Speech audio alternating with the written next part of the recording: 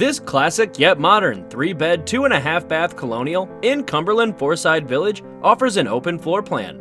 Check it out today with Jane and Garry Smith.